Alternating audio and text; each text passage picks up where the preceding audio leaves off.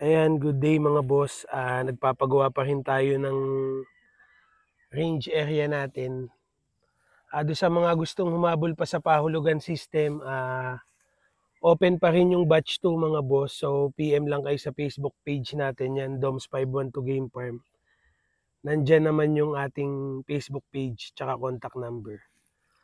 Ah, inuuna nila ay bahay ng tao. Ayan, ang hirap maglagay ng sisiw mga boss pag wala pang bahay ng tao.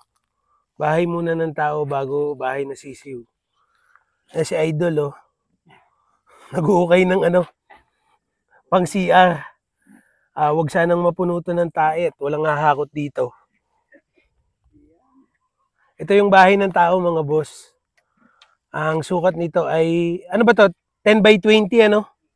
Kwarto lang tong kalahati. Tapos itong kalahati, ah, tambayan ko yan mga boss. Ah, pag gusto ko magkape. Diyan. Ah, pinapakiyaw ko na rin yung gawa mga boss. Iba yung galaw nila pag pakiyaw kaysa arawan eh. Ano? Kahit linggo na trabaho. At mo, linggo ngayon mga boss, nagtatrabaho sila. oh. Iba talaga pag pakiyaw. Nakasiguro. Talong eh. Punta muna tayo dito sa bahay ng sisiw. Ah, ito is bahay ng tao. Yun yung bahay ng sisiw na isa. Ay, ang hirap magpagawa mga boss. Magastos. Aabutin pa ata kami ng ulan dito. Ayan o, may poste na para makita nyo yung laki ng bahay mga boss.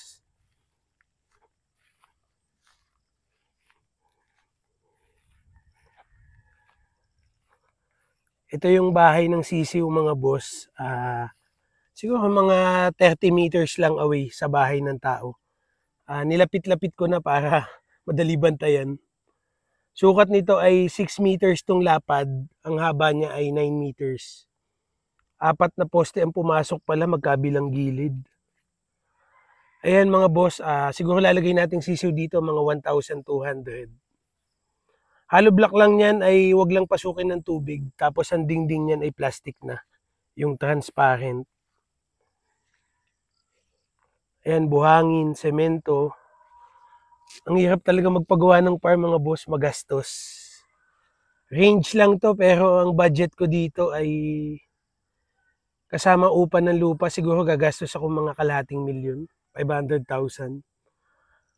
Ah, hindi ko alam mga boss. Ah, pero worth it naman yung gagastusin dito. Ito yung paglalagyan ng early bird. Ah, testingin kong i-wide mga boss para mas kita nyo. Ayan. Yan yung paglalagyan ng early bird. Ah, mapapansin nyo, walang puno talaga yan. Magbabakod pa naman ako pero isang yero na lang siguro.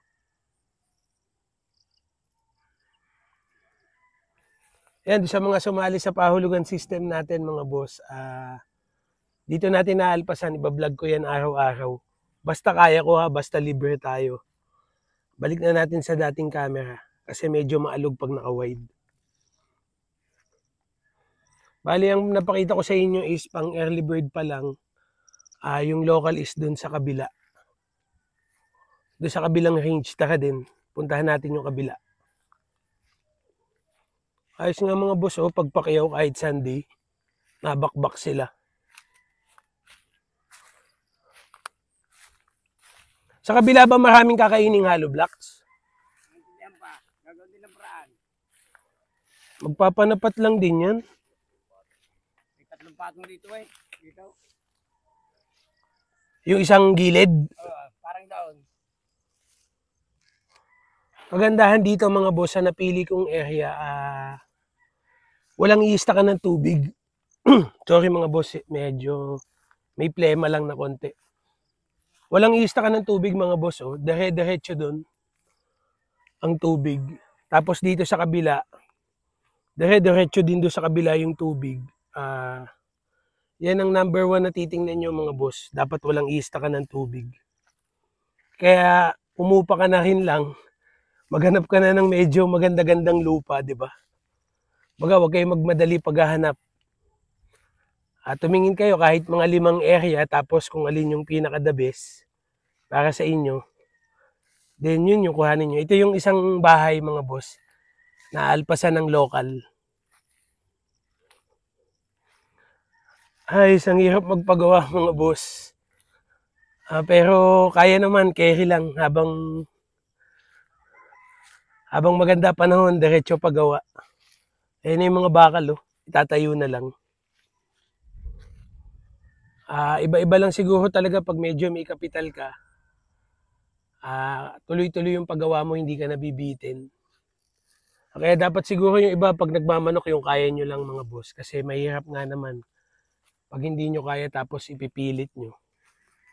Saka ko na ipapakita yung alpasan natin ng national, napakita ko naman sa inyo na nung nakaraan. Ah, bali dito muna tayo focus, local at national. Laki pa nito mga boss oh.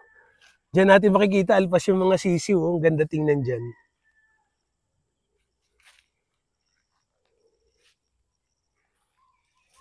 Balik tayo doon sa bahay. Ah, tabingi pala yung lupa dito mga boss kung mapapansin nyo.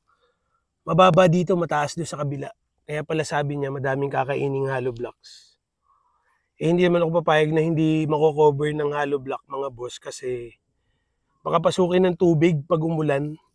Siyempre babaho yung ipa mga boss.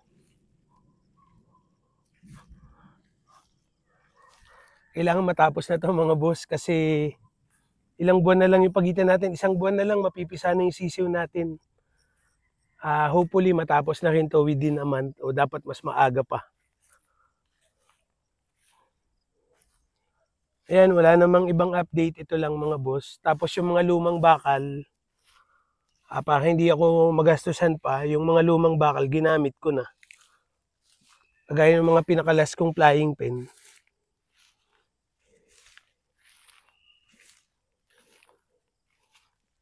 Pipinturahan na lang siguro.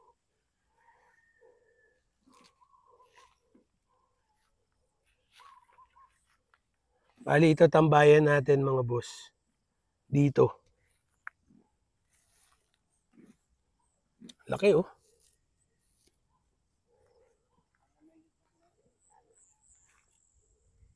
Ganda nito mga boss pag natatabas na to lagi, gaganda na rin yung damo nito. At talagang walang kapuno-puno yan. Meron man, maliit lang, tsaka konti. Hindi na makaka-apekto. Kasi pag walang puno mga boss, pag ipot nila, tuyo agad.